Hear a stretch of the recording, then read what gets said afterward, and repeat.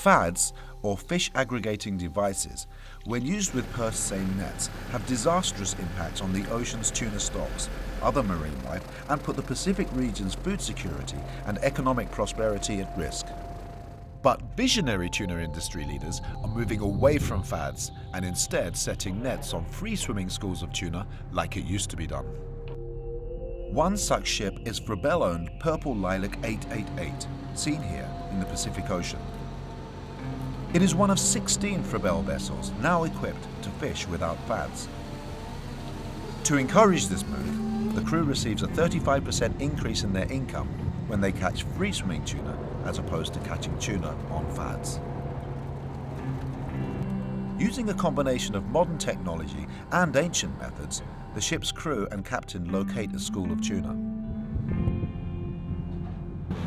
They approach the fish and circle them with a giant purse seine net. The dye and speedboats serve to confuse the fish and prevent them from escaping. The net is drawn closed and the fish are trapped. The net is hauled on board and eventually the fish are scooped from the net into the hold. Although some bycatch is present, the amount is far smaller than with purse seine fad fishing, which increases the catch of sharks and juvenile bigeye and yellowfin tuna to unsustainable levels. Purse seine fishing on free swimming tuna results in larger tuna being caught that can be sold at a higher price to processors. Uh, there are simply too many fishing vessels uh, operating and catching fish in the Pacific Ocean as, at this point in time and uh, their heavy reliance on fads and use of small mesh nets uh, only intensifies the overfishing uh, that is happening. As consumers around the world demand less wasteful and more sustainable fishing methods, forward-thinking companies are moving away from fad fishing and embracing solutions such as pole and line, catching tuna one by one and with even less bycatch, and fad-free fishing.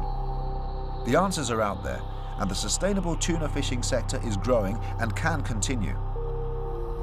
The industry should actually really work together, from the fishermen to the packers to the fish brokers and to the retailers and to uh, non-governmental organizations such as Greenpeace. Uh, we have to all work in hand, hand in hand so that uh, we can see a, a better future for all of us.